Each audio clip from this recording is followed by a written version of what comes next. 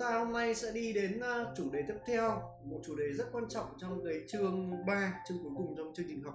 Hình không gian lớp 11 đó là vector trong không gian. Thì uh, như thầy đã nói ờ, uh, vector trong không gian hay là vector trong mặt phẳng thì uh, hồi lớp 10 là chúng ta học vector trong mặt phẳng đúng không ạ? Lớp 11 thì chúng ta mới bắt đầu học đến vector trong không gian. Thì mọi cái quy tắc của vector trong mặt phẳng đó hồi lớp 10 chúng ta học thì vẫn luôn luôn đúng xong với cả cái bài vector trong không gian đó, thì bây thầy sẽ ôn lại cho bạn một vài cái quy tắc vector cực kỳ quan trọng để giúp chúng ta giải quyết các dạng bài tập ngày hôm nay. Đó. thứ nhất là quy tắc 3 điểm. Quy tắc 3 điểm ở đây thì ờ, ở thầy gọi vui là quy tắc chèn điểm đấy các bạn. Đây này. Đó là nếu mà vector AB ở đây để chèn điểm M vào giữa, nó tách thành AM cộng với MB đó, đấy là quy tắc thứ nhất mà các bạn cần phải nhớ và từ đó chúng ta sẽ có quy tắc xen rất nhiều điểm vào vector AB Đấy, ví dụ các bạn nhìn nhá đây này. AB thì thả bờ vào. Nếu mà thả từ từ thì nó sẽ như cái quy tắc một này.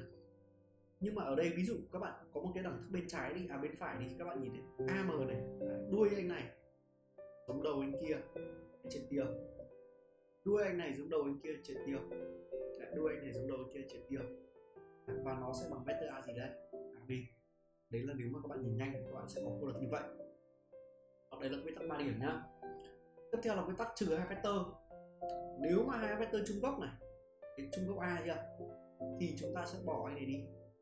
Bạn viết là CB Đó. đây là công thức số 2 mà các bạn cần phải nhớ. Tiếp theo là quy tắc hình hình hành Đó. nhớ nhá, đây này. Hình hành thì nhìn vào hình nó sẽ dễ dễ hiểu hơn. Thế là mình ôn lại hoàn toàn những công thức này lớp 10 các bạn nhé.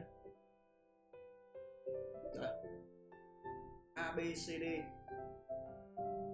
Đó, nếu thời gian có vector AB này vector AD này Đó, thì tổng của vector AB cộng với AD sẽ bằng vector AC tương ứng. Đó rất là dễ nhớ đúng không ạ? Đấy, tương tự CB cộng với CD thì sẽ bằng CA các bạn chỉ cần nhớ một cái thôi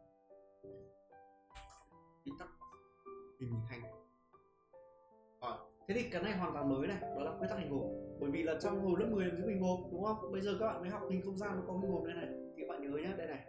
Anh ra này. Nếu thời gian có một hình hộp như sau. Hãy giống hộp ra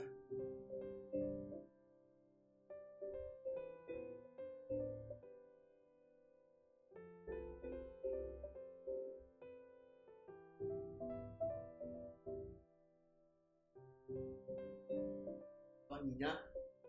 Ờ, a. A phẩy b phẩy c phẩy d phẩy a b c d. Nhá. Ở các em nhìn này đầu tiên là ab cộng ad à, nó gần giống quy tắc hình hình ảnh như các em.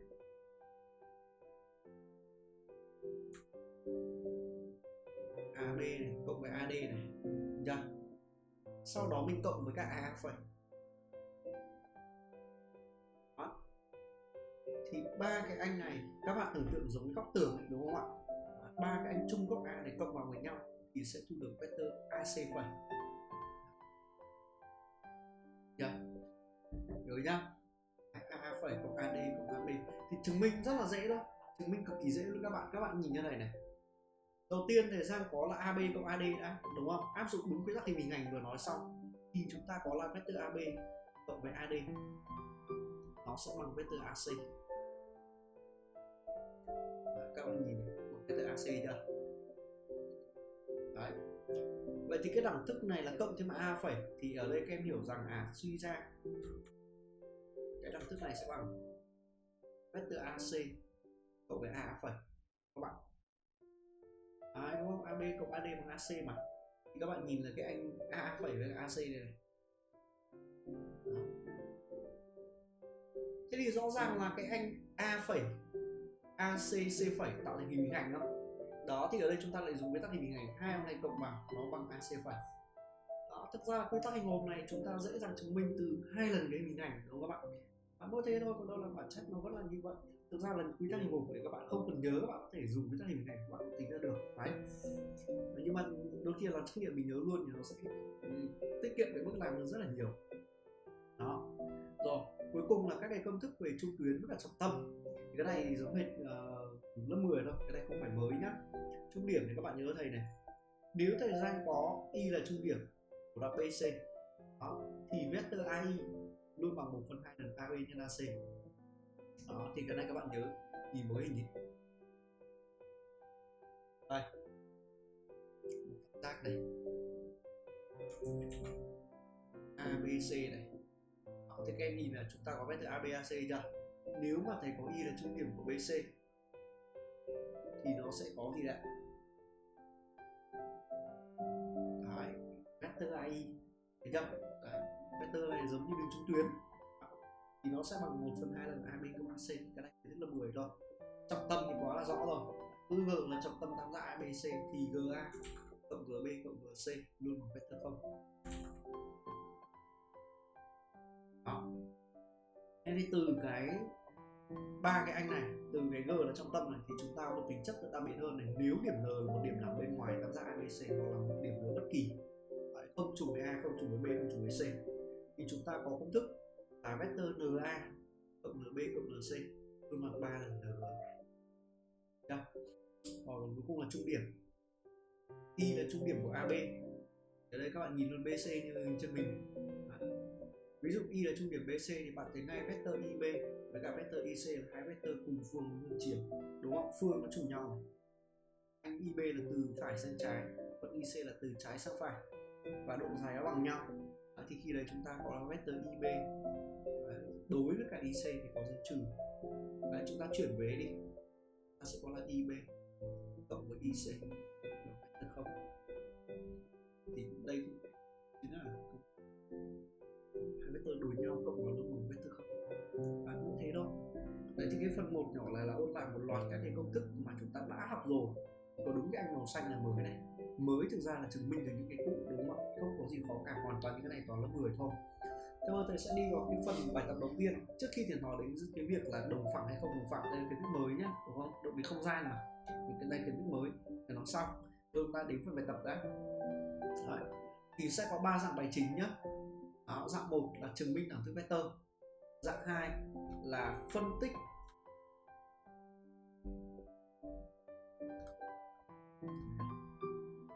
Dạng 2 là phân tích một vector thành hai vector còn lại. Và cuối cùng dạng 3 là chứng minh ba vector đồng phẳng ờ, thì hôm nay chúng ta có bốn sẽ có bốn dạng. Đấy.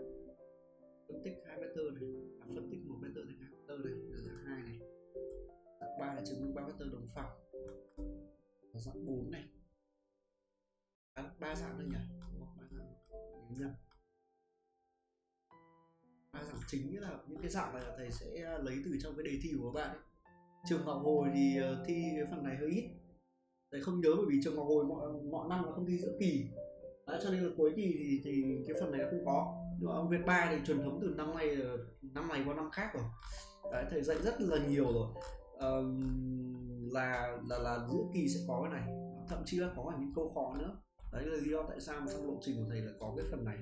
Còn như thầy đã nói mình nhìn một cách rộng hơn và xa hơn ấy, đó là ở cái đề thi đánh giá năng lực ấy. làm sao ăn thi ảo ấy, nó sẽ có thể có đúng không? Đó cho nên mình cứ học cẩn thận là cho chắc. Khoe với các bạn một chút là năm ngoái khóa 2000 à, khóa 2003 Đấy, bởi vì khóa 2004 chưa ra trường thì thầy cũng có hai chị. Một chị là thủ khoa khối D của trường Việt Nam Ba Lan đầu la các bạn. Chị học thầy năm lớp 10 luôn. Còn một chị là cũng á khoa vừa thủ khoa và á khoa đều đều học đều học toán của thầy. Đấy, nhưng mà chị thủ khoa là học rất là nghiêm chỉnh. Và bạn ấy theo từ lớp 10 luôn bạn ấy hiểu cái phương pháp thầy như là bạn ấy học làm đúng với các bạn kết quả rất là cao. Đấy, thầy chỉ sợ các bạn lười thôi. Đó bây chúng ta đi đến câu đầu tiên là dạng một đẳng thức vector nhé thì chứng minh này thì nghĩa là đề bài thường sẽ cho các em một cái đẳng thức nào đấy hỏi là đẳng thức đấy đúng hay sai đúng chưa? Đó thì các bạn nhìn.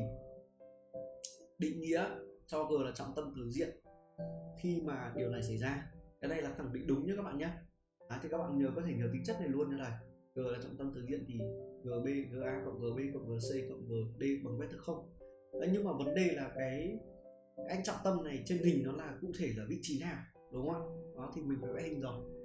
Ở bên này ra vẽ hình ra cho các bạn. Chúng ta có đường diện abcd đúng không?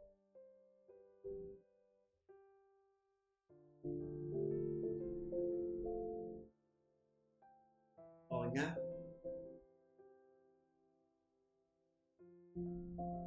đó. Bây giờ các em nhìn này thứ nhất này g là trung điểm của easy với easy là, là, trung điểm của ab với cd bây giờ mình cứ lấy thử mình cứ có giả sử a đúng đi mình sẽ lấy điểm y với điểm gì trên đỉnh. Miễn là từ các cái cái vị trí này mình chứng minh được cái đẳng thức kia trở ra các bạn hiểu không ạ? Thì chúng ta có điểm này là điểm g đi điểm này giữa là g.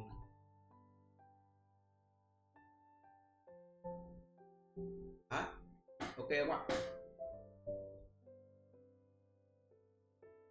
Rồi bơ mình chứng minh thử nhá mình nhẩm rất là dễ thôi. Đầu tiên các bạn nhìn cho thầy này nó có ga gb gc đúng không? Thì bây giờ chúng ta phải nối nó vào. Điều đương nhiên là mình nối nó vào. Vector ga nhá. Vector gb này vector này VTGD này. Đó và các bạn nhìn như thầy rất là dễ thôi.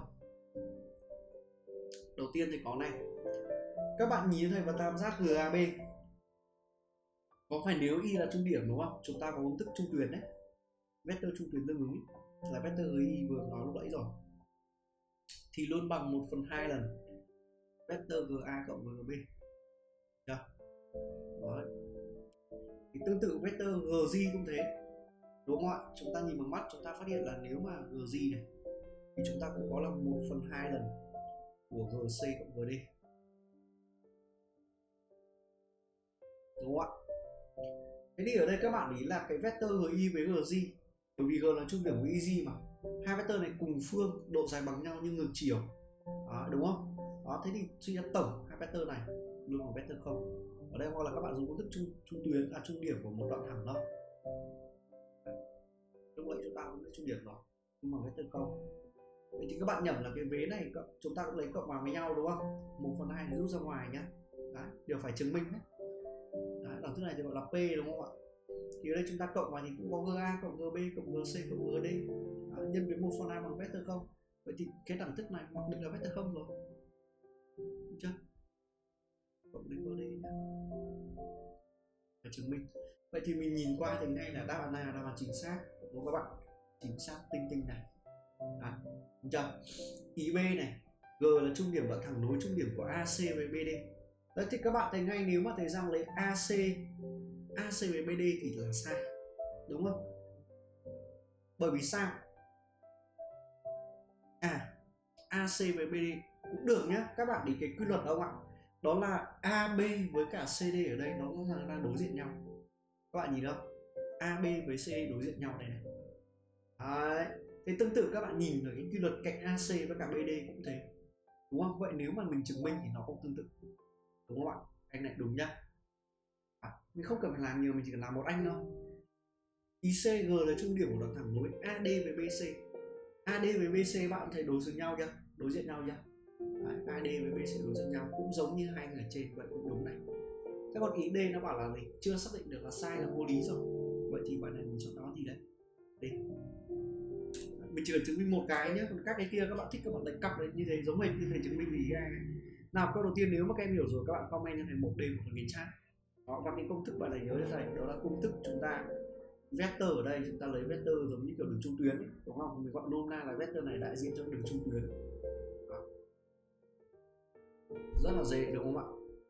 Xong câu một nhá. Những cái cách làm trắc nghiệm ấy, đôi khi là bạn nào định dở hơi lại đi đi lại chứng minh câu b chứng minh câu c là quá mất thời gian đúng không ạ? Đó, cho các bạn chú ý. Chúng ta sang câu 2 rồi ok. Trong không gian cho bốn điểm không thẳng hàng. Các bạn nhớ thầy nhé bốn điểm này không thẳng hàng. Nghĩa là gì? Nghĩa là nó tạo thành một tứ diện. Ok chưa? Tứ diện là giống hình ở trên này đấy bốn điểm này không thẳng hàng. À không từ từ. Quên mất nhỉ? Quên mất thì đọc nhầm là không đồng phẳng. Không đồng phẳng thì mới là tạo thành tứ diện. Còn không thẳng hàng ở đây thì nó có thể nằm trong cùng một phẳng nhá. Đó. tạo thành một hình hành ok câu này thì quá dễ. Câu này các em lớp 10 làm được. Bởi vì đã tạo thành một mặt phẳng quanh với lớp 10 chưa? Mình vẽ nhanh ra.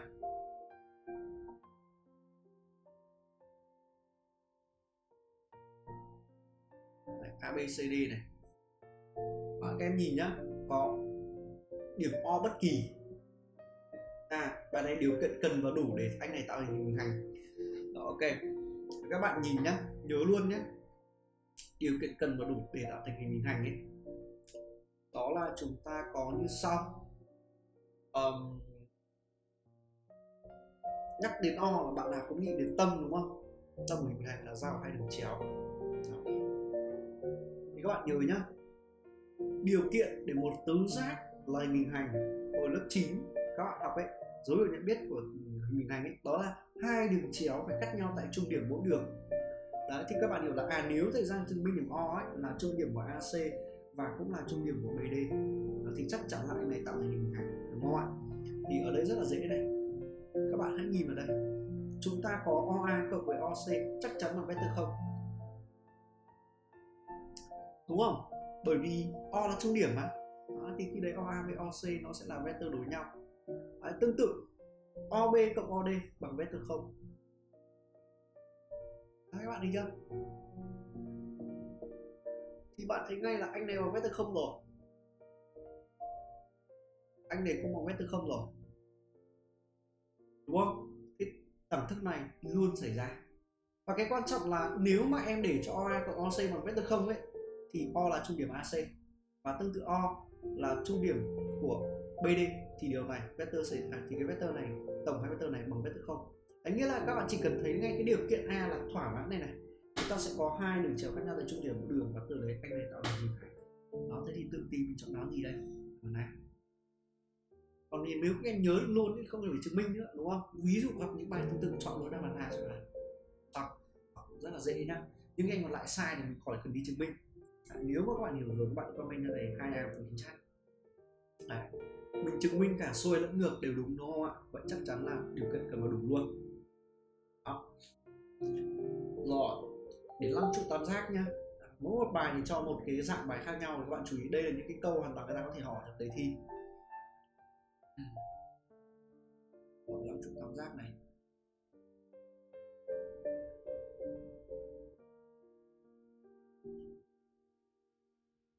Bạn nhìn là chúng ta có a phẩy b phẩy c phẩy a b c d. A phẩy là vector a nhỏ. Vector a nhỏ này.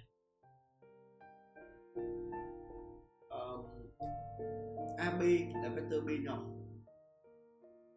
Ac là vector c nhỏ. Được. Đấy, ba màu đen này. Rồi bc là d nhỏ. Người ta hỏi đẳng thức nào xây đủ, đúng không ạ? Rồi, các bạn nhìn này. Ở đầu tiên nhé vector a. Ở vector a là anh này nhé các bạn nhé. Bằng vector b cộng vector c. Các bạn thấy vô lý này bởi vì các bạn nhớ không ạ? Vector b và vector c là hai vector chung gốc a. Nếu mà thời gian cộng vào với nhau ấy, theo quy tắc hình hình hành ấy các bạn, hoặc là dùng công thức trung tuyến đi Ờ, công thức của vector mà tương với đường trung tuyến ấy, đây này, ví dụ thầy lấy y là trung điểm của bc đi.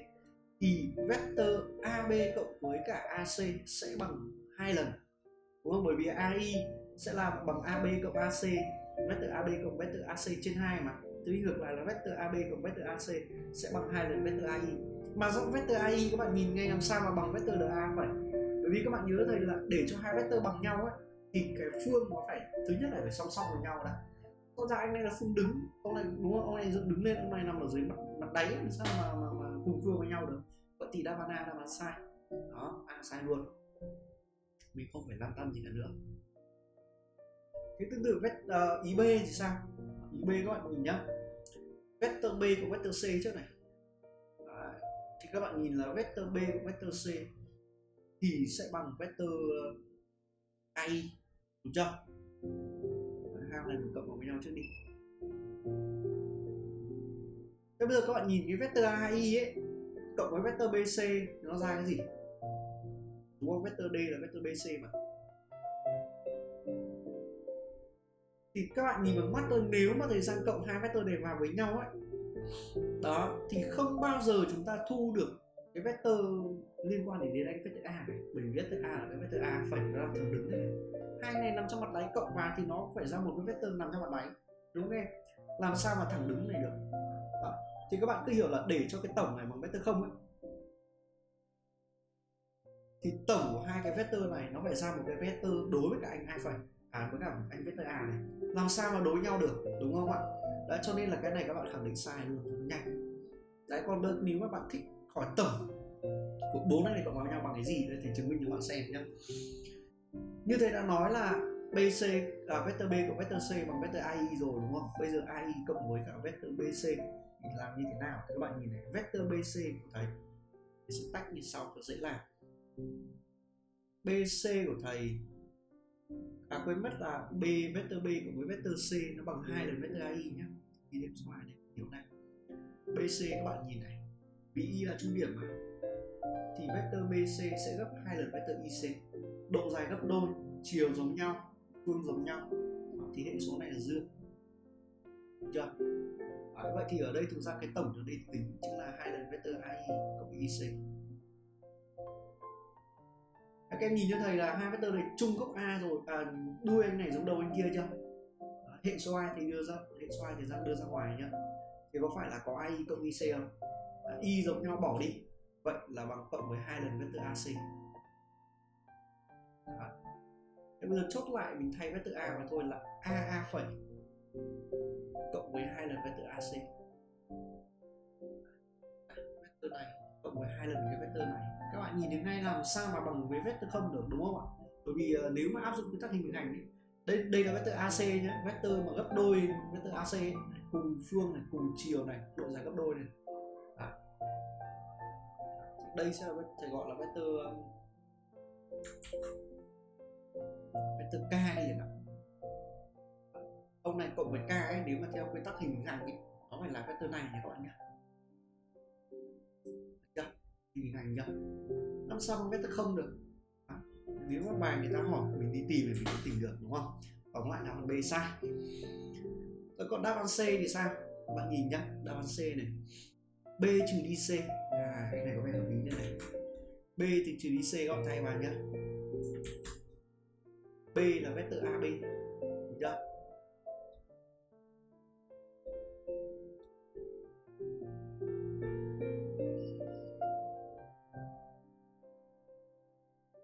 Trừ đi vector AC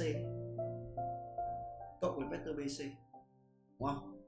Bằng vector không ở đây thiếu chữ vector thì các em nhìn cho thầy là AB trừ AC áp dụng quy tắc hiệu ra vector trung gốc thì nó sẽ bằng vector CB. À, hai này đã thấy chưa? CB với BC là hai vector đối nhau bởi vì là cái vị trí đảo với nhau chắc chắn đối nhau rồi. Đấy. À, nhớ các bạn nhớ nhá, hai vector là một tên nó đảo với nhau nghĩa là đối nhau. Cộng vào luôn bằng vector không. Vậy thì bạn này mình không bị nhiều à chọn đáp án C trả lời được chưa đấy chứ còn ý D ý D thì nó tương tự giống ý B dễ dàng chứng minh ở trên hình nào nó sai đó câu này nếu mà các bạn nào hiểu rồi thì các bạn comment đây ba C hoàn thiện trạng thì mấy cái câu này thì nó rất là kỹ nhé cả kể là mình nhìn biết là sai nhưng mà thầy vẫn phải vẫn muốn là để các bạn nghe các bạn hiểu. À đấy nếu mà mình đi tìm cái tổng này thì nó ra cái gì? Để các bạn hiểu cái cách tư duy đúng không ạ? Và sau này mình làm quen rồi thì với những cái bài toán này mình sẽ đi làm nhanh hơn. Nhưng mà đây là thời điểm đầu nhưng mình cứ làm kỹ từng ý một để mình hiểu là ở đấy cách tìm trên mình là như vậy đó sau này các bạn làm quen thì nó sẽ làm nhanh hơn rất là nhiều. Đấy nhá. Rồi ok. Đó năm chục làm ra à, đến câu số 4 này là một câu liên quan đến uh, hình hộp tâm o. Rồi. À, mình lại vẽ hình ra. Hình hộp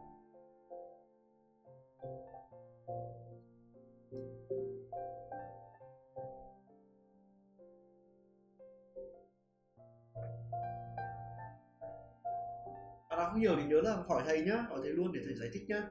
Nếu mà bạn hiểu rồi thì tốt quá, đúng không ạ? Rồi, chúng ta có là a phẩy này, b phẩy này, c phẩy, d phẩy này. A b, c, d này. Đó tâm mò nhá, tâm nổi cột thì mình chưa xác định được, đúng không? À, trong sách học khoa chưa nói gì đến, bây giờ mình đi tìm xem là khẳng định nào đúng. Đó thì các bạn nhớ nhé bây giờ các bạn muốn xác định tâm ấy có thể dạy các bạn luôn này, nếu mà muốn xác định tâm của hình hộp thì các bạn làm như sau. Đầu tiên là các em lấy cho thầy một cái mặt phẳng. Có rất nhiều cách. Ví dụ cách thứ nhất là bạn lấy cho thầy một hình bình hành chéo, đó là a phẩy, c phẩy ca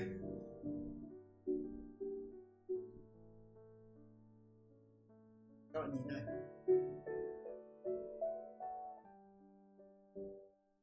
Thấy chưa? Đây trong này thấy rõ sẽ lấy hai đường chéo. Nó nét đứt nha nhưng mà thôi mình vẽ này cho nhanh. Đó thì tâm của hình này nó sẽ là tâm gì? Tâm o. Các bạn hiểu ý này nó không ạ? Đó và tính này o cũng là trung điểm của a phẩy c và cũng là trung điểm của ac phẩy. Tương tự nó cũng là tâm của hình hình ảnh b phẩy d phẩy db đó, cho là nhưng mà thôi mình chỉ lấy một cái thôi mình đi chứng minh là được. Thế bây giờ các bạn nhìn này ý a, cho ab cộng bc ok, câu này thì các bạn nhìn cái với bên trái nhé b với b giống nhau này, c với c giống nhau này. Vậy thì toàn bộ cái vế bên trái chúng ta là còn là ac phẩy chưa? Triệt tiêu luôn. Rồi bây giờ bên này tương tự nhá. D d d với d phẩy này giống nhau này. O này. Đúng chưa? Đó. bỏ đi luôn. Bài này mình không, thậm chí không cần hình đâu, mình thấy ngay là về trái với phải luôn bằng nhau rồi vậy thì a đúng nhá. Nhưng mà người ta không chọn đáp án a người ta bảo tìm khẳng định sai. Đến ib này. À, bây giờ các bạn nhìn trên hình nhé ab từ ab cộng với a phẩy. À, ab cộng a phẩy. Bạn thấy chưa? Thứ nhất các bạn ý cho thầy là ab với a phẩy là trung góc a.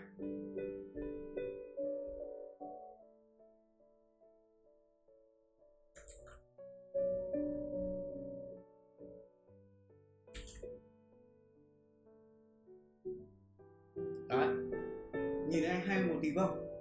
Quy tắc thì mình hành cộng vào nó sẽ bằng vector ab phẩy. Được chưa? Đấy nhá. Vậy thì với đáp án b phía trái của chúng ta có là bằng a, b, phẩy. Phía phải thì quy luật này, đuôi này giống đầu bên kia thì bằng vector ad phẩy. Bởi các bạn chỉ cần nhìn trên hình xem vector ad phẩy với cả ab phẩy có giống bằng nhau không? Nhìn vào mắt thì làm sao bằng nhau được? Các bạn nhìn này. Thầy ơi, Thầy ơi, rồi. Ờ, ờ, cái đáp án cái đáp án B là AB phẩy chứ không phải là AB đâu. ở ab phẩy nhầm Đấy, nhưng mà các bạn nhìn trên hình đi. Hai ông này làm sao mà bằng nhau được đúng không? Ad phẩy và cả ab phẩy không bao giờ cùng phương. Đó, cho nên là bài này chúng ta chọn ngày đáp án gì đây? Đáp án b. Câu này thực ra nó cho tâm mo này chẳng để làm gì cả đúng không? Còn đấy để gọi là đánh lừa cảm giác chúng ta thôi mình chả dùng gì đến đấy, nó chẳng liên quan đến nhau cả. Cái bài này chúng ta chọn nó nào đây đáp b sai này lề luôn rồi. Cái anh này với cả cái anh này làm sao nhau được? Bạn nhìn chưa? Cũng có giờ bằng nhau để phương khác nhau hoàn toàn. Về độ dài thì bằng nhau nhá nếu mà bài này hình lập phương ấy. Đó. chứ còn đó đúng không các bạn b đúng không đấy bạn này bài này bạn nào hiểu rồi thì các bạn comment cho thầy 4 b phần kính chat nào. Ok chưa? Bài này mà nhiều bạn cứ đi nhìn tập trung vào tâm o là lại dở hơn. Nói chung là mình cứ bình tĩnh mình làm mình đọc cái đề bài mình áp dụng những cái gì thầy dạy là các bạn sẽ làm rất là nhanh nhá. Đó ok. Chúng ta sang câu tiếp theo là câu số 5 luận thư vector là đúng? Đấy thì những cái bài này nó tương tự nhá. Những cái bài này thì tương tự rồi các bạn uh, làm cho thầy. Còn nếu mà các bạn nhớ quy tắc hình hộp đáp án b luôn. Được chưa? Nhớ quy tắc hình hộp luôn đấy không? Ab à đâu, không phải. Không phải không phải không phải. Vẽ lại nha, vẽ lại nha. Vẽ hình ra nó nhìn rõ được. Quy tắc hình hộp nhớ là cái góc nhà nhé phải tạo được hình góc nhà thì áp dụng được quy tắc hình hộp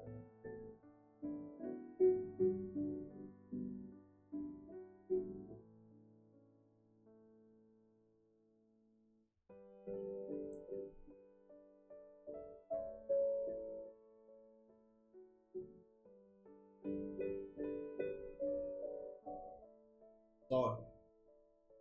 Chúng ta có D D D D đúng không ạ? Thì các bạn nhìn là DA ABCD các bạn lấy như bình thường, không cần cần quan tâm vị trí nào đâu. Rồi, đầu tiên là DA nhá. Bạn nó phải ở trên nhỉ?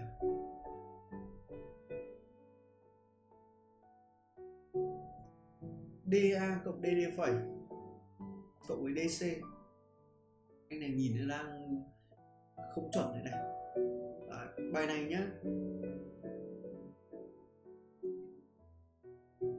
DA cộng với EC rồi bây giờ thì nói IA trước này.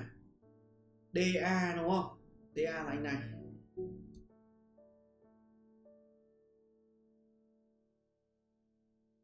Cộng với DD phẩy này. Cộng với DC này chưa? Đấy, thấy góc nhà chưa? Ba anh này tạo thành cái góc nhà. Thì đúng với các hình này ảnh ấy là nó sẽ là vector DV phẩy đúng không chính xác luôn rồi đấy. Đúng không? Đấy. ba góc nhà màu tím à, lúc lúc nãy công thức của mình là góc là góc A nhé phải đấy góc D hay góc B hay góc C đều làm được. Nếu mà cứ tạo thành góc nhà thì tổng của ba vector này sẽ từ điểm D để nối đến tít đối diện bên này. Đó, đúng nhá hay đúng luôn mình nghĩ cái khác sai bởi vì nó không tuân theo quy luật đó. Cái này thì vẫn nên vẽ hình nhá bởi vì là nếu bạn nào tưởng tượng mình kém ấy các bạn sẽ không nhìn ra đọc các bạn nên vẽ nó ra cho nó chuẩn.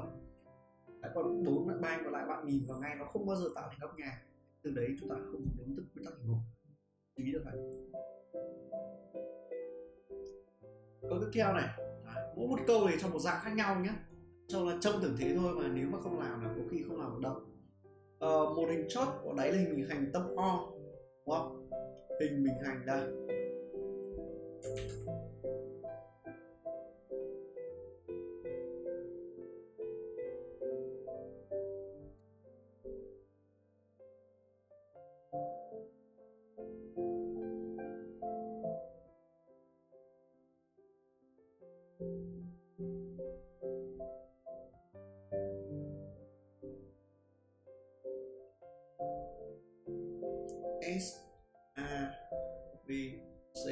Đây uh, ờ, O này chúng ta có định uh, một cái biểu thức là GS à G là một điểm thỏa mãn trên hình không biết G ở đâu các bạn nhé. Chỉ biết là GS cộng GA cộng GB cộng GC cộng GD bằng vectор không. Đó. Thế mà người ta hỏi là khẳng định nó xoay đúng đúng không ạ? Rồi. Thì các bạn để ý nhé cái anh A thì nó, đây thầy dạy kỹ thuật làm trắc nghiệm đấy. A này thì các bạn nhìn nó không có gì liên quan đến BCD đúng không? Thì tất cả ba đáp án BCD người ta đều hỏi các, nó đều đều nói với các em một điều đó là gì đây? Đó là cái anh GS thực ra là cũng có liên quan đấy. Thực ra cũng có liên quan nhưng mà thầy nói sau nhé. Bộ ba canh là BCD nó đều đi hỏi các bạn đó là GS gấp mấy lần OR đúng không ạ? Đó, thế bây giờ các bạn nhìn này từ cái đẳng thức đề bài cho ấy thì bạn thấy có G rồi có S rồi. Nhưng mà thiếu mất cái điểm họ đúng không? Vậy thì GS ở đây có thời gian sẽ luôn giữ lại ở cái đề bài từ đẳng thức sao nhé.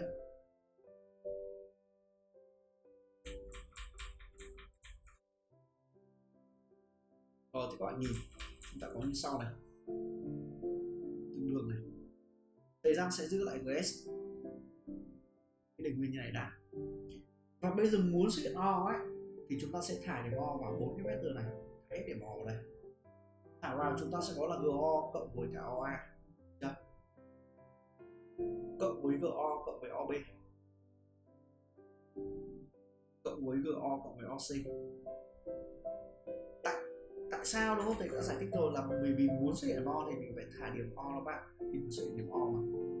Cộng với OD hoặc biết từ không rồi. Thế thì ở đây các bạn đí này, có bốn anh GO đúng chưa? GO GO GO GO thế rút gọn đi. GS sẽ bằng bốn lần GO thế các bạn có nhớ nhớ lỗi thầy vừa dạy không? Nếu đáy là hình hình mà O là tâm, rõ ràng là bốn cái anh OA cộng OB cộng OC cộng OD luôn bằng vector không. Bởi vì mình nhóm OA cộng OC mà. O là trung điểm thì OA và OC là đối nhau bằng vector không? Đó, nếu mà bạn làm bài viết tự luận thì bạn trình bày nó ra. Được chưa? Đấy, tương tự là OB cộng với OD bằng vector không. Thì tóm lại là bốn hình màu xanh này cộng với nhau bằng vector không thầy cô để bỏ qua rồi nhá. Chúng ta còn cái năm tư này. Còn cũng như này thôi. Đấy xong rồi đấy. Vậy thì GS sẽ bằng âm 4 lần GO và các bạn nhớ là đáp án là OG thì thầy đảo vị trí giữa hai vector nhé không phải đá vị trí giữa hai vector mà đá vị trí điểm đầu với điểm cuối. Ấy. thì nhớ là đảo chúng ta phải có dấu trừ. Trừ trừ sẽ bằng 4 Được chưa? Thế ngay ra luôn đáp án b. Thế thì thời gian xin thưa với các bạn là đáp án b. Đó ok các bạn. Và các bạn chú ý này nếu mà vector này bằng k là vector kia ấy, các bạn nhớ nhé vector a bằng k là vector b thì suy ra chúng ta một điều là vector a với b là cùng phương. Đấy. nhưng mà nếu mà hai vector này cùng đi qua một điểm đó là cái đi qua điểm g chưa thì từ đó suy ra là gì đây? Là ba cái điểm này thẳng hàng với nhau. Nhớ tính chất này nhá. Đấy, gs bằng og bằng k lần vector og mà chung đi qua cùng điểm g. Vậy thì suy ra là s g o thẳng hàng cứ đi qua cùng một điểm suy ra.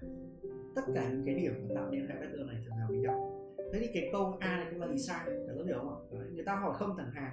À, đừng ở đây không thẳng hàng nghĩa là các bạn không bao giờ chứng minh được là gs bằng k lần og cả. Đấy. thực ra thì câu a này cũng liên quan đến cái việc là chúng ta đi tìm xem là cái gs có bằng k lần og hay không. Nếu mà các bạn không tìm được thì bạn kết luận là không thẳng hàng. Còn tìm được thì chúng ta sẽ ra được mình các theo điều này chưa? Nếu mà các bạn hiểu rồi các bạn comment là số 6 6B nhá. À, câu này cũng là một dạng khá là hay đúng không? Khá là khác so với cả mấy anh trên. Đó thì khi thầy soạn tài liệu ấy là thầy cũng phải cố là thầy nhận mỗi một câu là một kiểu bài khác nhau để cho các em ôn luyện. À, còn đi thi thực tế thì nó sẽ có thể là chỉ cần một câu trong cái dạng một thôi. Một câu dạng một một câu dạng hai một câu dạng ba nó đủ các bạn chết rồi. Đấy, đủ là các bạn làm khó khăn rồi. À, nhá ok chưa? Nếu các bạn ok rồi các bạn comment về phần cái chat nhá. Hôm em um, mồm đấy đang bị um, cái gì nhỉ? Mọc răng khôn các bạn. Áo hết của mồm này không ăn được gì không há được mồm luôn. Hôm nay nó hơi bị chậm một chút. Ờ, cả lớp hiểu câu này chưa? Comment đi. Hiểu câu này rồi comment 6B thầy phần bình chat. Đó.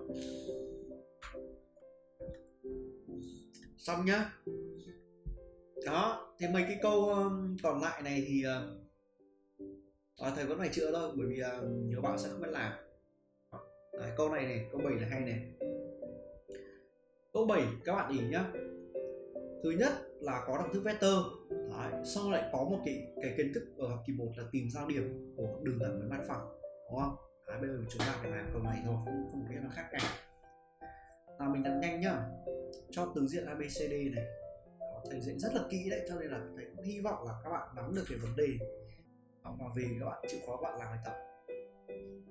Cho thầy đơn giản ngồi làm lại thôi những cái gì thầy đã dạy thôi. Và các bạn sẽ nhớ rất là nhiều. Đó.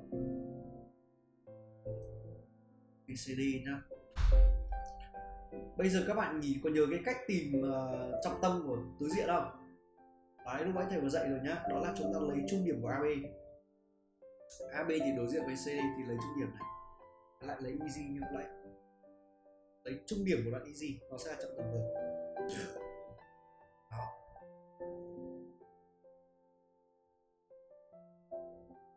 Bài này thì uh, hơi dở một chút nhỉ. Bài này hơi dở một chút là điểm A thì đến đây thì nó không nhìn rõ. Nên thầy sợ hình một chút nhá cho nó dễ nhìn.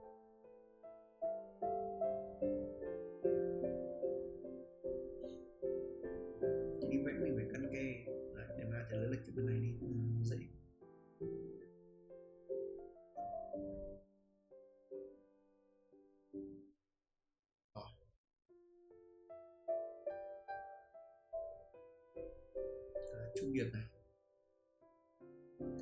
Thế thì GA đúng không? Giao điểm của GA với BCD kéo dài nó ra. Đấy là một điểm nào đó mình chưa biết. À nó cũng biết rồi đấy nó là bảo là G không. Đây là G này. Trung điểm này. Điểm mà chuẩn.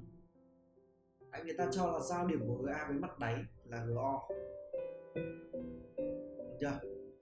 Đó bây giờ là tìm khẳng định nào sau đây là khẳng định đúng. Đó, thì người ta đang hỏi là cái tỷ lệ đúng không? Của vector GA so với cái anh uh, G GOG đó. nói chung là rất là hay đúng không một câu rất là hay. Bài này thì không phải đi tìm nữa sao tuyến người ta cho rồi. Bây giờ tìm cái tỷ lệ này thôi làm như thế nào đây? Nào bây giờ chúng ta phân tích vấn đề này. Các bạn hãy nhìn lại về trên hình à, cứ người ta cho bằng thích gì thì mình phải nhìn nó ngay.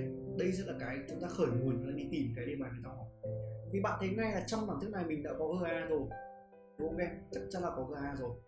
Vậy thì ở đây thời gian giữ lại GA và chúng ta đang không có GO đó thế thì thời gian sẽ thả GO vào đây. Vào các vị trí này. Làm thức sao nhé. Vậy từ đề bài thì nó sẽ có như sau. GA này. Cộng với GG0 cộng với G0B cộng với GG0 cộng với cả G0C à, cộng với g0, cộng với g0b. bằng vector 0 đúng không ạ? Thì đây chúng ta có khoanh G0 với nhau. Chúng ta sẽ rút gọn. Là vector GA ba 3 lần g không. thế bởi chúng ta còn là g không b cộng với g không c cộng với g không d. Bằng vector 0 Đấy. bây giờ cái bài toán nó sẽ phụ thuộc vào cái đẳng thức này nó là như thế nào? Được chưa? Đó, bây giờ các bạn ý chứng minh là nó là cái gì ở, ở, ở bài này đó đấy bây giờ mình xem mình chứng minh như thế nào đây. Thì các bạn nhìn ngay có vẻ như là G0 đang là trọng tâm đúng không? Các bạn nhìn bằng mắt thôi. Các bạn thấy đây có vẻ G0 đang là trọng tâm của BCD nhá. Vậy nếu ấy nếu mà các em mà thông minh ấy các em có thể làm một cái mẹo rất là hay như sau này. Các bạn lấy tất cả các bạn kẻ luôn. Đây là nó nhỏ nha mắt nhỏ các bạn cái mẹo đấy ở đây. Các bạn không biết thì bài mình cũng chưa chứng minh được g không là trọng tâm của, của cái tam giác này đúng không? Các bạn lấy thước kẻ các bạn kẻ đi. Bạn lấy da của hai đường trung tuyến ở dưới đáy xem có cắt nhau tại g không hay không. Đấy, ví dụ ở đây thì nối BG vào là đường trung tuyến thứ nhất dưới đáy đúng không ạ? Phải nối ờ, DG0 vào đây đi. Đấy, xem có phải là trung tuyến không. Đó và thầy khẳng định với các bạn luôn chắc chắn nó sẽ là trung tuyến. Đó, chắc chắn cái đường DG0 sẽ là trung tuyến và B BG cũng là trung tuyến mà đi qua G0 hay nói cái khác là bạn kẻ bằng hình bằng tay thôi các bạn cảm nhận bằng tay thôi bạn tình ngay GO sẽ là trọng tâm ở dưới đáy. Mà khi GO là trọng tâm dưới đáy rồi thì cái đẳng thức này sẽ bằng vector không? Thì từ đây chúng ta sẽ có là gì đây? Thì là mẹ làm trắc nghiệm nhé đó, thì ở đây chúng ta sẽ có là GA bằng trừ 3 lần. À bằng trừ được không được. Ừ, g không g không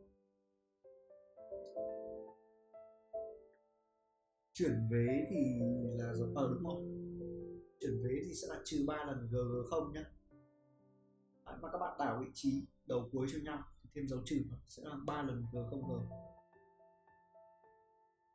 Thì chúng ta sẽ thấy ngay đáp án chuẩn là đáp án C.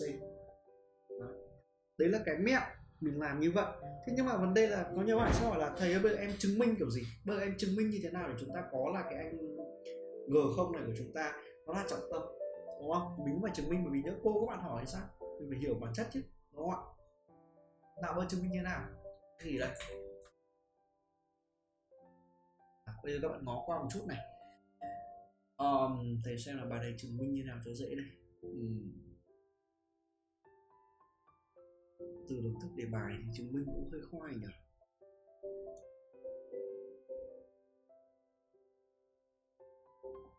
Giao điểm của GA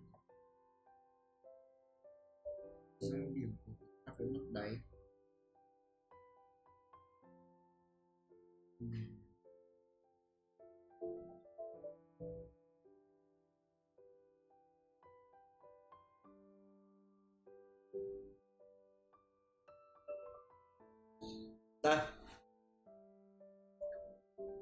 đây đây xem nào.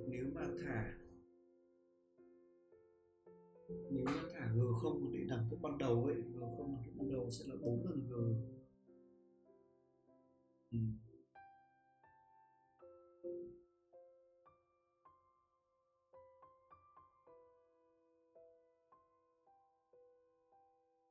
bốn lần g g không cộng với g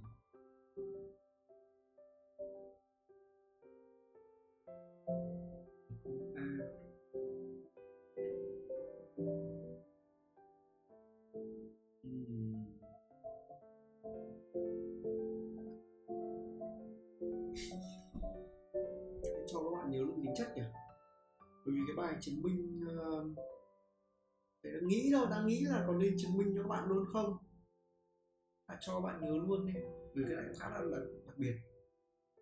Và đi thi thì nó ít khi nó bắt chứng minh các bạn. Minh là g không là trọng tâm. Mà nếu mà làm trắc nghiệm nếu làm tự luận thì còn làm trắc nghiệm thì mình nhớ luôn. Thế thôi các bạn nhớ luôn tính chất đi cho dễ nhé đó là là làm gì ạ? Nếu mà g là trọng tâm của tứ diện mà từ a ấy nối xuống. Qua cái điểm g thì nó sẽ cắt mặt đáy tại trọng tâm của mặt đáy. Nhớ luôn tính chất để cho nó dễ. Đó. đi thi tự luận thì không ai bắt các bạn chứng minh bài này tự luận đâu. Làm trong công trắc nghiệm thôi. Đó. Chú ý cho nhá. Đỡ đi chứng minh lại, đúng không? Chứng minh thì vẫn làm nhưng mà nó hơi dài một tí. Đó là xong câu này. Thế còn câu 8 này thì dễ rồi, đúng không? Đấy, câu 8 này vừa mới nói xong này tứ diện này có easy là được trung điểm của A, B với cả CD này. G là trọng tâm của trung điểm của easy đó, thì GA cộng GB cộng GC bằng vector không. Ta thì ngày đáp án A đâu Đấy, câu này thì không có gì cả đâu. Đấy. thì mấy câu sau thì nó tương tự nhá. Tính là dạng một là phải về cho các bạn làm đúng không? Chứ còn bây giờ thầy mà chữa hết thì nó nó không còn hay nữa rồi. Đấy thì về các bạn làm thấy các câu sau. Viết ra nhá um, chín này. Chín này. Ở câu này thì nói rồi.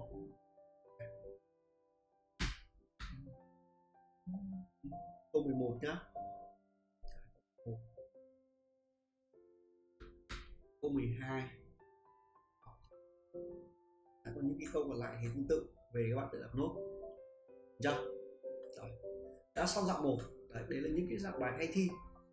Thế bơ sang dạng 2 là dạng bài mà chứng minh đẳng thức vector. À không phải chứng minh mà là phân tích. Đấy, yêu cầu cụ thể là phân tích vector này theo các vector khác theo hai hoặc đến ba vector. Thì mình làm như thế nào? Đó. Thì các bạn nhìn vào cái câu 18 này. Đó. thì các bạn nhớ cái phương pháp nhé cái phương pháp cốt lõi để làm dạng này nó có hai bước thôi. Là từ trên hình. Đấy, ví dụ là bài toán yêu cầu là chứng minh vector A bằng m lần vector B cộng n lần vector C cộng với p lần vector D. Đó. nghĩa là phân tích vector A theo ba vector B, C, D. Thì các bạn nhớ phương pháp đầu tiên đó là từ trên hình vẽ. Và từ biểu thức nào đó từ đề bài đã cho. Các bạn sẽ phân tích vector A bằng một biểu thức bất kỳ. Tại sao thì dùng bất kỳ? Nghĩa là làm sao mà mình quy ngay về được B với cả C với cả D được? Không thể đúng không ạ? Thì đầu tiên chúng ta phải khởi nguồn bằng cái việc là viết đẳng thức vector A bất kỳ ra đã. Sau đó từ những cái yếu tố bất kỳ ở bên phía bên phải. Đó, các bạn mới quy. Ok chưa? Quy về B và quy về C, quy về D. Ở đây các bạn hiểu là chúng ta đã có một cái đích đến, đúng không? Đó là phải làm xuất hiện B, phải làm xuất hiện C và phải làm xuất hiện D. Thì mình sẽ đi từ cái bất kỳ này, mình quy về ba cái vector mà mình cần. Thì bài toán sẽ kết thúc. Đấy là cái logic duy nhất để các bạn làm bài này thôi. Còn quy như thế nào, quy ra sao, đó lại phụ thuộc tùy từng bài, tùy từng dữ kiện. Đó. bây giờ chúng ta sẽ đi đến câu 18 nhé. Chúng ta có từ diện ABCD này.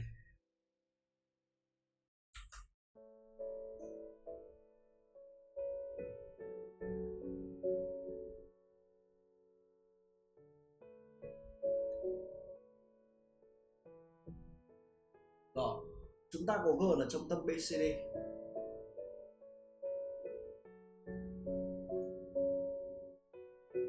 Đó, giao hay đường trung tuyến hoặc là các bạn lấy ờ, tỷ lệ uh, chia làm 3 phần với nhau một trung tuyến là cũng được. Ờ, ở đây mình khoảng cần gọi trung điểm đi gọi là G là trong tâm đã. Đó, bây giờ người ta bảo là vector AB và vector x. Ok, AB đây. Thích AB thì có AB đó thích AC thì có AC thích AD thì có AD đúng chưa rồi khẳng định là xoay đúng. À đi đúng không? Đang bắt chúng ta phân tích vector thành ag này. À, theo ba vector này. Ok nhá. Nào chúng ta có một cái target rồi chúng ta cứ thế chúng ta làm này. Đầu tiên các em nhìn cho thầy. Cái vector a ag trên hình nó tách như thế nào? Đó thì bạn nghe kỹ, kỹ thuật ở đây thì muốn viết ag tách như thế nào thì rất là dễ để các bạn ghép cho thầy vào một tam giác nào đó. Các bạn thấy ngay vector ag của chúng ta nằm trong tam giác abg ag của chúng ta nằm trong agd hoặc là nằm trong agc rất nhiều cách. Các bạn viết bừa ra. Ở đây dễ nhất là mình vẫn ghép vào abg tại sao thì lại chọn abg abg hoặc là adg hoặc là acg đều được nha. Nhưng mà đây là ý là nếu mà mình đưa về ab rồi có luôn cạnh ab mình đang cần tách này đó có luôn cạnh một tím cần tách này. Thì ag sẽ bằng, mình không đi trực tiếp ra đến g, mình đi qua b đi, sẽ là ab cộng với bg đầu tiên là cái cơ sở nhá. Đó. Thì các em thấy ngay là AB là một trong ba vector mình cần đưa về, thầy giữ nguyên AB thầy đi tách BG tiếp theo rồi.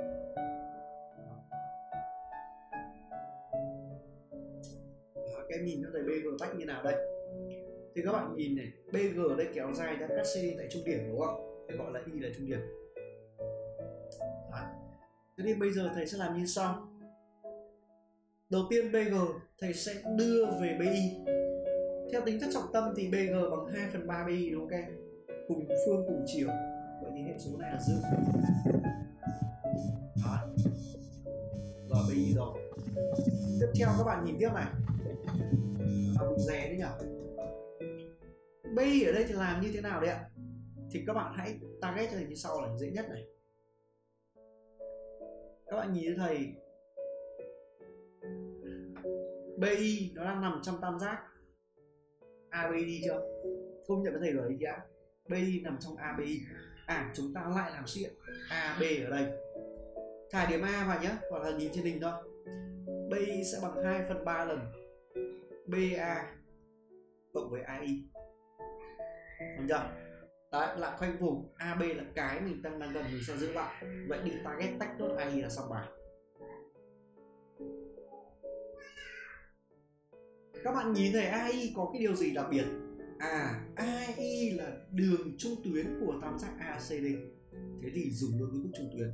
AI sẽ bằng 1 phần 2 lần AC cộng với AD xong rồi đã kết thúc bài này các bạn.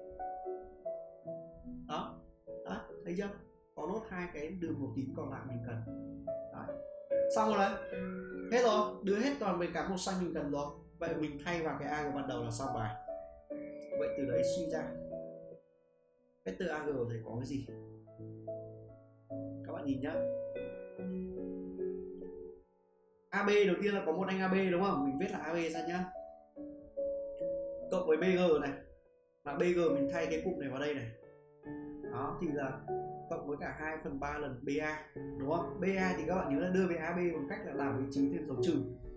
Thì ở đây sẽ là trừ đi 2 phần 3 lần AB đó. Rồi cộng với cả 2 phần 3 lần vector AI đúng không? Mà AI ở đây? Mình thay vào đây này. Đó thì là 2 phần 3 nhân với 1 phần 2 lần của AC cộng với AD à, bạn đã kết thúc rồi. À, giữ gọn đi một trừ đi một, hai phần ba còn 1 phần 3 lần. Vector AB thì thay một vector x luôn. Xong một này 2 phần 3 nhân với 1 phần 2 còn 1 phần 3 lần vector AC và AC là vector y. 1 phần 3 lần vector y. Rồi. Tương tự ở đây rút gọn 1 phần 3 lần vector AD nghĩa là 1 phần 3 lần vector Z. Xong bài nhá. Kết thúc bài toán mình cứ đưa về những cái mình cần là xong vậy thì bài này đáp án A là đáp án chính xác. Đó. nếu mà các bạn hiểu thì các bạn comment cho thầy 18A vào phần kiểm tra để chúng ta kết thúc bài toán này là có bạn nào thắc mắc gì không ạ? Đấy. nếu mà các em hiểu rồi các bạn comment ở phần chat nha nhá. À, cho nên là cái phương pháp đầu tiên thì các bạn cứ viết cho thầy bừa ag bằng cái gì đó sau đó chúng ta biến đổi biến đổi biến đổi. Dần dần đưa về cái chúng ta cần là chúng ta làm được bài này. Có bạn nào hỏi gì không ạ? Nếu mà hiểu rồi thì comment cho thầy 18A nha. 18A phần chat nha. Nhanh nhá có mỗi bạn trung linh comment nè, các bạn khác có hiểu hiểu không ạ?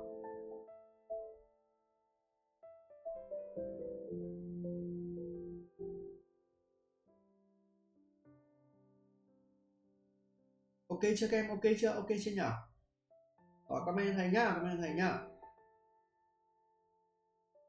Các bạn biết cái nhạc các bạn đang nghe không? Thầy phải phải có cả producer đấy, làm riêng cho các bạn đấy, nhạc độc quyền đấy.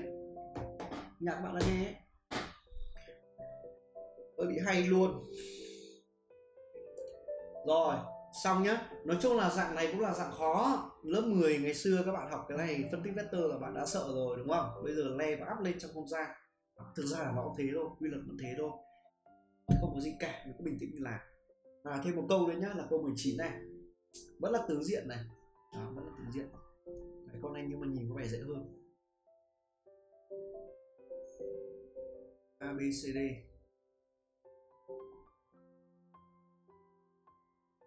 nói chung là cố gắng thôi các bạn đúng không? Thầy cũng biết là nó khó như thế nào. Ngày xưa nó luôn là thầy học phần này bằng cái thời điểm các bạn ấy là thầy dốc đạo phần này luôn. Thật đối với các bạn thế.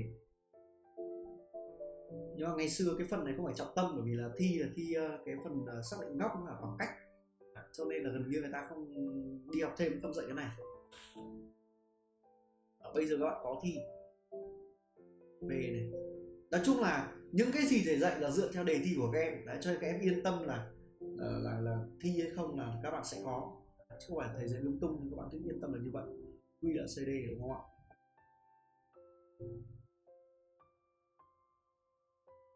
Rồi khẳng định nào sai đúng. Người ta bắt phân tích vector PQ thấy chưa? Đó, tất cả đều là đưa PQ về BC với về đó, thì trong đầu mình hiểu là à bài này là phân tích PQ về BC và AD rồi. Thế thì mình sẽ viết bừa nó ra, đúng không? Cái vector PQ này nó sẽ bằng cái gì? Đó. nhưng mà hiện tại hiện tại nhá, trên mình ấy, thì anh PQ này nó đang không nằm trong một tam giác nào cả. Các bạn công nhận với thầy không ạ? Nó không hề nằm trong tam giác nào cả. Vậy thì mình phải tự tạo tam giác ra. Thì dễ nhất có hai cách nhé một là bạn nối a với q chưa và nối b với q à, chúng ta sẽ có tam giác chứa đựng pq hoặc là các bạn có thể nối uh, uh, c với q đi. C với p đi. Có rất nhiều cách nhé Đấy, thầy thầy nói để cho các em hiểu là à không phải là mình cứ phải cứ theo cách của thầy đâu. Đấy. đúng không? Nối về đỉnh p cũng được mà. Thấy chưa? P với c đi. Đấy. trong tam giác pcd cũng có chứa đựng pq đúng không? Cái bài này nhá nếu mà gọi là thuận ấy, thì các bạn nhìn ngay tam giác màu xanh cái đường đường qp nó ngược lại với pq còn cái anh màu tím này là pcd thì pq là xuôi chiều hơn này. Đó thế thì bài này theo như thầy làm ấy, nó thực ra cái nào được nhưng mà theo như cái đẳng cấp đúng không? Bạn nào mà đẳng cấp thì bạn sẽ chọn tam giác màu tím và nó sẽ thuận hơn. Đấy, còn nó lúc mà bạn các bạn làm cái nào được mà không sao cả. Rồi thầy xét tam giác PCD nhá. PQ ở cái ngay đường trung tuyến này tôi dùng luôn thức trung tuyến để cho nó máu lử. Một phần hai lần. PC cộng với PD được chưa? Đấy. Bây giờ mình bắt đầu có đường đi rồi. Bây giờ mình đưa đến những cái target mình cần. Đó là đưa về BC và đưa về AD đúng không? Thì các bạn chú ý cho thầy các anh PC liên quan đến BC đây này. Có thấy không? Rõ ràng PC với BC đang nằm trong một tam giác. Vậy thì đầu tiên thì tách ngay PC sẽ bằng PB cộng với BC không các bạn? Đi qua điểm B mà. Đấy, ví dụ là bình thường mình đi từ nhà mình đến nhà người yêu đi đúng không? Mình đi đường thẳng. Đấy, nhưng mà hôm nay là gặp bố người yêu trên đường đấy, Đấy, bố vợ tương lai đang đứng chặn chặn cổng này chặn cổng ở nhà này. Mình đi là gặp bố vợ là chết. Đó bây giờ mình đi đường vòng.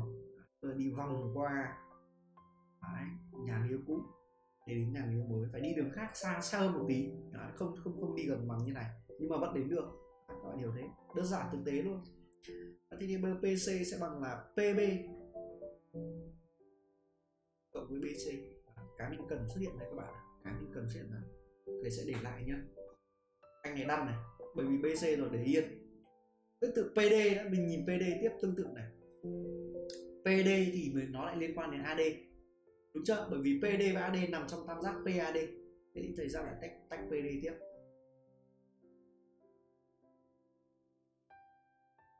Đi vòng qua nhà người yêu nhá.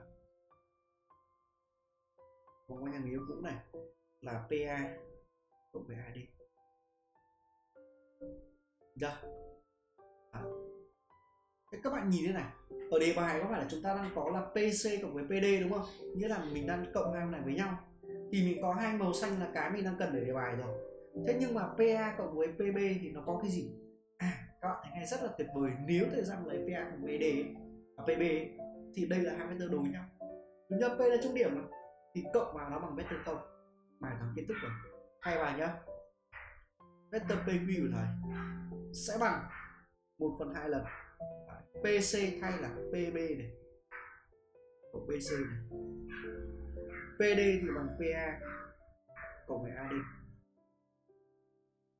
hai ông tướng này bằng không rồi cộng vào nhau bằng không rồi. Kết quả thì là có. Xong rồi đấy các bạn. 1 phần 2 lần. BC cộng với AD đúng cái mình cần như vậy vậy thì bài này, đáp án B là đáp án chính xác, tuyệt đối 100% nếu các em hiểu bài này rồi, thì các bạn comment thầy 19p của cái chat và như thầy đã nói, các bạn đưa về mặt cái tam giác màu xanh là vẫn như thế, đúng không ạ? Nó chỉ thêm bước, một vài bước đảo dấu, còn đâu là bản chất vẫn thế cho nên là cách làm như nhau. Cái quan trọng là nếu mà mình thông minh thì mình làm cách chuẩn nó sẽ nhanh hơn một, một chút. Thế thôi. Còn đâu các bạn cũng đừng đừng đắn đo cái việc mà mình phải chọn nó giác nào cả cứ thế mà làm. Quan trọng là có hướng làm là ok rồi. Được chưa? Đấy, thế thôi. Có gì đâu. Nhá. Đã tra xong câu này. Rồi. Đấy, mơ đến hình trụ nhá. Rồi tiếp tục nào mỗi một câu là một dạng khác nhau. Nhưng mà các bạn nhớ là cái um, cái phần này thì nó chi tiết rồi. Đấy, cho nên là câu nào các bạn về các bạn làm phần còn lại ấy, các bạn không biết làm bạn có thể xuất mã QR code tham khảo làm chi tiết. Rất là rõ ràng rồi. Đấy là những cái mà tài liệu thầy đã chuẩn bị mấy năm nay thì cho các em. Đấy, không có gì lý do gì các em lại lười cả đúng không ạ?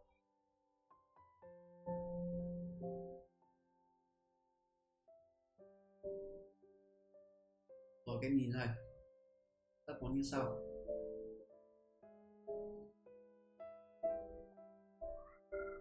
A phẩy b phẩy c phẩy a b c d. M là trung điểm của bb phẩy này.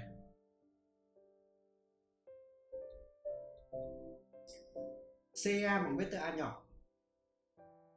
Đấy, các bạn học này quá sướng luôn. Màu mè để vẽ dễ nhìn đúng không? Đấy, chứ còn ngày xưa học à, các anh chị năm ngoái học về làm gì được như này?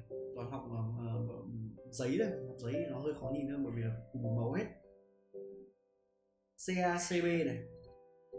Càng kết khóa sau thì lại học càng sớm hơn. Thầy update công nghệ mới hơn đúng không? Chứ là các em khóa sau là còn lười hơn nữa thì chịu. Rồi. À, bây giờ nhá target này vector am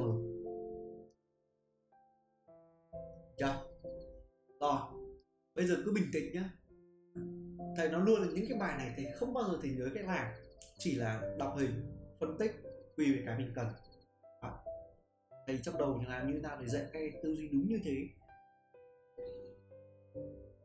Bây giờ các bạn nhìn vào anh am của chúng ta này. Bây giờ các bạn nhìn cho thầy xem cái thằng am này của chúng ta trên đỉnh mình đưa về anh một tìm rất là khó bởi cứ đơn giản là am nó nằm trong tam giác nào. Mà thì nhìn thấy ngay là A B đúng không? Tách luôn am sẽ bằng ab cộng với bm Đó. thứ nhất các bạn nhìn anh bm chắc chắn đưa được về aa phẩy bởi vì sao? Bởi vì bm là một nửa của bb phẩy vừa là trung điểm mà cùng phương cùng chiều. Mà bb phẩy chắc chắn bằng vector a phẩy rồi. Vậy thì bằng 1 phần 2 lần a phẩy. Xong. Tính nó môn xanh luôn. Đó xong nhá. Rồi. Tiếp theo, bây giờ có một ab mình đi target ab đưa về các cái vector còn lại thì các bạn lại nhìn muốn liên hệ này. Đó là vector AB của thời gian, nó đang nằm trong cái tam giác chứa hai vector màu tím này. Đúng chưa? Đưa về luôn. AB sẽ bằng AC cộng với CD Đấy nhưng mà đổi lại một chút nhá mình phải đưa về góc C đúng không ạ? Thì anh C AC này mình tạo thành trừ trừ ca cộng với cb đấy, đấy, đấy, xong rồi đấy các bạn. Đấy hết rồi đấy rồi cái màu xanh này. Thay vào đề bài ban đầu ab này thì bằng trừ ca ca là bằng gì? Là vector a đúng không? Trừ vector a. Cộng với cb là vector b. Cộng với bm 1 phần 2 lần vector a phải là 1 phần 2 lần vector c. Xong bài. Trừ a cộng b cộng 1 phần 2 lần vector c, thì thời gian có đáp án d ok chưa? Đúng theo phương pháp thầy dạy luôn, không khác một cái gì cả. Nếu các em hiểu rồi comment 20 d phần chat cho thầy. Ok chưa? Đi thi các bạn cứ nhớ cái gì để dạy là ok là đấy, thì mấy cái câu như câu 21 tương tự chưa 21 tương tự hẹn thế. Đó. về chịu khó làm một tí nữa là được, nhá. Đã có mấy câu lại, câu còn lại thì thầy nghĩ là phải để cho bạn làm thôi, chứ còn thầy mà làm mãi thì nó lại thành không hay. Được chưa? Đấy. em phải xem một câu nào hay chữa các bạn này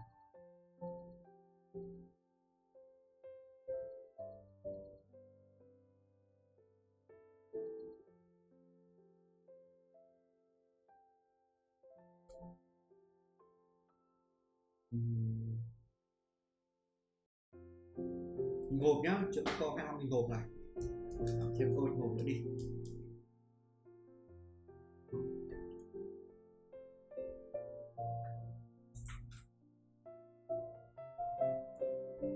Còn mấy câu còn lại về bạn phải làm thôi đúng không? Chưa thầy chưa hết thì còn cái gì nữa mà học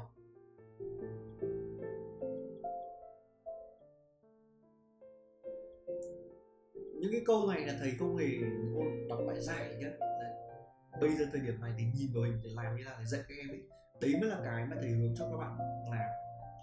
À, bởi vì là à, đưa cái tư duy mà thầy tiến đổi như thế nào bởi vì là thầy học cái phương pháp mà thầy học hay thầy dạy các bạn đều thế rồi, đó là nhớ tối giản nhất có thể.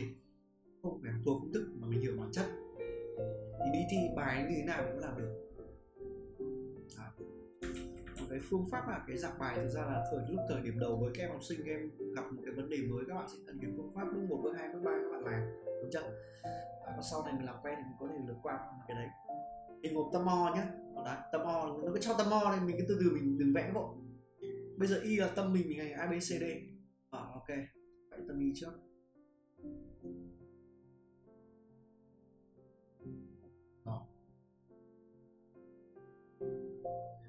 Bây giờ thầy dạy các bạn một cái mẹo vẽ cái tâm o này.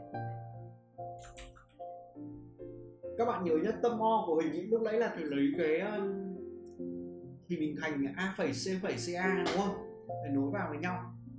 Thì bài này mình vẫn nên vẫn nên lấy nhé bởi vì sao? Nó có vector ca phẩy đây này.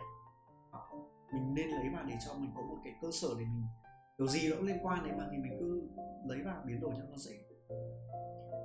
Đó và thầy cũng bảo với các em luôn đấy đó là ngoài các bạn lấy cái hình a phẩy, c phẩy ca chúng ta có thể lấy b phẩy, d phẩy bd lấy ra của hai hình chéo cũng ra tâm mo thầy là bài này hôm nay thầy lấy cái này luôn, cho nó mới mẻ.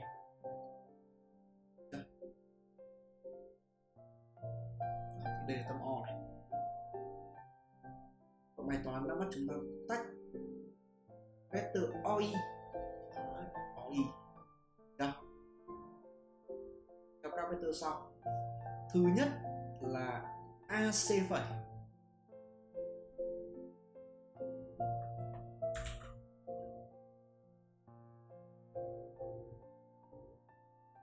AC phẩy đấy nhá.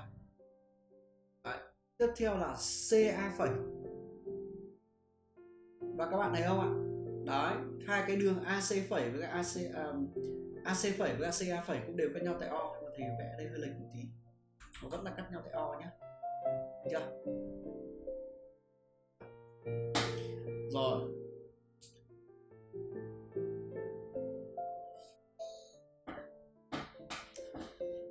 B d phẩy. B d phẩy. Bốn cái màu tím này mệt nhỉ? Nhìn có vẻ khó nhỉ? Nó tách kiểu gì bây giờ đây? Chưa? Đó. Thế chắc là DB phẩy. Uầy, khó. Thế nhỉ?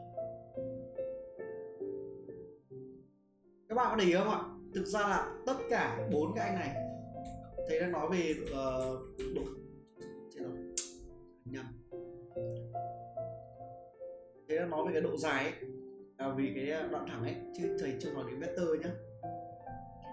Và kem thấy ngay bốn cái anh mà người ta bắt chúng ta tách ấy nó đều là đường chéo. Hai thằng này là đường chéo của hình hình ảnh a phẩy c phẩy a ac à, hai thằng này tương tự là của hình thành b phẩy d phẩy db đúng chưa? Nó đều liên quan đến cái anh o này cả. À, thì rất là dễ này thì ra làm như sau này các bạn nhìn nhá. Tất cả các đáp án đều là hai oi đúng chưa? Hai oi hai oi hai oi đó thì tách luôn. Hai lần oi sẽ bằng vector oi cộng với vector oi à, oi thứ nhất này thầy sẽ làm việc với hình bình hành a phẩy c phẩy ca thì oi bằng cái gì? Đó, các bạn nhìn này oi bằng cái gì?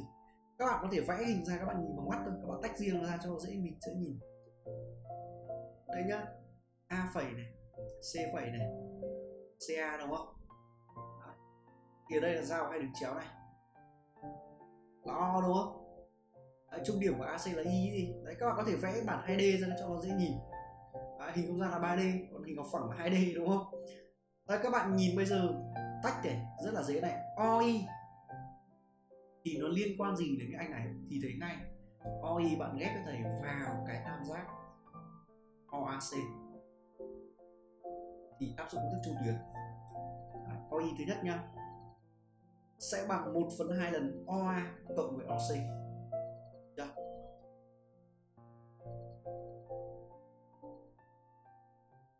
Công nhận không ạ? Để dùng công thức trung tuyến luôn.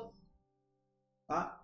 Thế bây giờ cái anh OA với OC này, Bây giờ mình target mình đưa về gì? Mình đưa về hai đường chéo đúng không? Quá dễ rồi. OC vì O là trung điểm thì bằng 1 phần 2 lần vector A phải C. Thì ở đây thầy Giang đưa luôn này 1 phần 2 này. OC thì sẽ bằng 1 phần 2 lần của A phải C. Chính là cái mình cần tìm ở đề bài đây này. Đó đây chưa? Tương tự OA thì lại bằng 1 phần 2 lần C phẩy A. Cũng là cái đề bài người ta đang học. Đó, cái bài toán kết thúc rồi đấy. Vậy thì, nhân vào nhá. Chốt lại, chúng ta có gì? 1 phần tư. Cho anh có ý đầu tiên nhá. Sẽ bằng 1 phần tư của vector u cộng với vector v. Đúng không các bạn? Thế tương tự anh ngoi còn lại này. Thì có làm tương tự không? Thế bây giờ các bạn đổi mỗi cái tên thôi. Đúng không ạ? Đổi mỗi cái tên thôi. Đó là gì? À, b phẩy. D phẩy. Ờ, uh, db có khác thì nhau không các bạn? Giống lên. Thì anh này lại bằng gì? 1 phần 2 lần. À, của gì đây? OD cộng với BD được chưa? OD thì lại bằng 1 phần 2 lần của B phẩy D thay luôn. Nó sẽ bằng 1 phần 2 lần của vector x cộng với OB bằng 1 phần 2 lần D phẩy B. 1 phần 2 của vector y là xong rồi. Cái kết quả chắc chắn thời gian có 1 phần 4 lần đúng chưa của u cộng v cộng x cộng y xong bằng chúng ta có đáp án gì đấy đáp án c là đáp án chính xác các em đã hiểu câu này chưa? Nếu mà các em hiểu rồi, các bạn comment cho thầy. Em đã hiểu dạng và phần kinh chat ok chưa? Đấy mình chỉ cần làm đơn giản như vậy là xong bài này.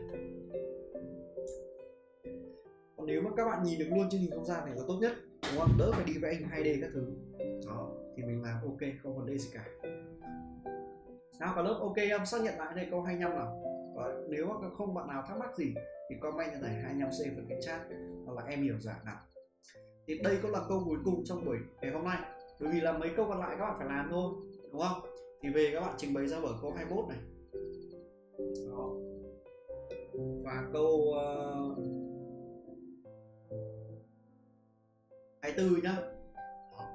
làm đây hai câu này đó. Thì ờ, uh, còn cái dạng 3 thì chắc là để buổi sau. Để nói qua là dạng 3 cũng là dạng hai thi chứng minh song song. Chứng minh ba không phải chứng minh song song mà chứng minh ba vector đồng phẳng thì chúng ta phải có cái ờ, cách như nào. Nhưng mà thực ra là các bạn hiểu câu cái câu hai này. Bởi vì dạng 2 thực tế là sau này các bạn áp dụng dạng 2 nó sẽ dạng 3 thôi. Nói chung là không vấn đề gì khó cả. Nhưng mà vẫn cũng có thể là dạng các bạn thi. Đúng không? Giống như cái đề học kỳ của các bạn ấy nó sẽ có ví dụ thi giữa học kỳ 2 nó sẽ có một đến hai câu. Cuối học kỳ nó có thể vào cho nên mình vẫn phải ôn cẩn thận. Đó. Thì ờ, buổi sau thì sẽ dạy nốt dạng 3 nếu mà học xong sớm thì chúng ta sẽ học xong bài chứng minh vô góc luôn chứng minh đường góc bánh mặt luôn nhá. Đó là buổi thứ sáu tuần uh, tuần tới. Đấy. thì chốt lại lịch nhá. Bây giờ mình vẫn cứ học lịch cũ là thứ năm tới thứ sáu bình thường. Vẫn làm lúc 7 giờ đến 9 giờ. Thứ năm học đại thứ sáu học hình. Đấy. thì chúng ta đỡ phải thay đổi. Được bạn nào bận thì phải chấp nhận thôi đúng không ạ? Rồi nhá thế thì hôm nay chúng ta sẽ kết thúc vào hôm nay ở đây. Mà nhớ là gì về làm thầy bài tập đi nhá. Đừng có đừng có lười đừng có ấy không quên. Không tin các bạn cứ lấy đề giữa kỳ các bạn năm ngoái nó là có những cái dạng này đấy nhá. Rồi hôm nay buổi học chúng ta sẽ kết thúc ở đây. À, có bạn nào thắc mắc gì không ạ? Nếu mà không thì à, tạm biệt các bạn. Hẹn gặp lại các bạn vào tối thứ năm tuần sau nhá. Ta sẽ gặp nhau và chúng ta học tiếp bài giới hạn dãy à, hàm số à, dãy số nhỉ? Cây ok chưa rồi, thì chúc các bạn có một ngày chủ nhật vui vẻ bên gia đình nhá. Ok, bye bye, hẹn gặp lại các em. Ok, chào yến vi nhá. Thì chào bạn mai anh nhá. Thì chào bạn hoàng anh nhá. Bye bye các em nhá. Ok, ở nhà đi, dịch đang căng đấy. Bây giờ có mỗi thầy thôi thầy vừa f không, xong rồi thầy đi thoải mái. Không sợ gì cả. Ừ.